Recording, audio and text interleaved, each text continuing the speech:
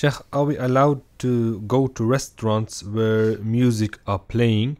And if we are allowed to go there, are there any certain criteria? Do we have to ask them to turn off the music? And if they do not turn off the music, uh, can you still stay there? And uh, does it matter whether you have alternatives or not Yeah. where you can eat? Okay. Bismillah wa salatu wa salam ala Rasulillah.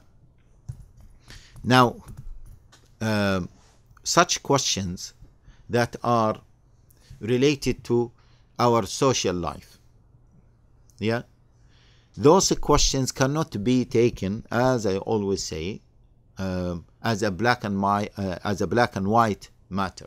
The answers cannot be a black and white. For example, going to a restaurant where music is played, there is a difference between music itself, loud music, low music, provocative music, and so on Romantic music, very uh, romantic music, and so on. This is one thing. The other thing is uh, there is a difference between whether you really need to go to that restaurant or not. Yeah.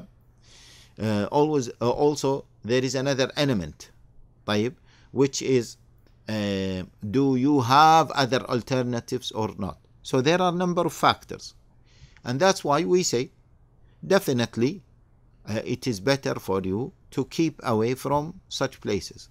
I don't want people to take it as a matter of black and white, where, for example, he will go pick something from the, the, the, the, restaurant, or he might need to go there, okay, and the music is not the, the very provocative one, okay, so then he will say, oh, no, no, no, no, no, I can't go there.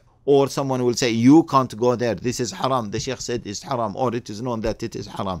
It is not a black and white matter. These are guidelines, and as we always say, fear Allah as much as you can.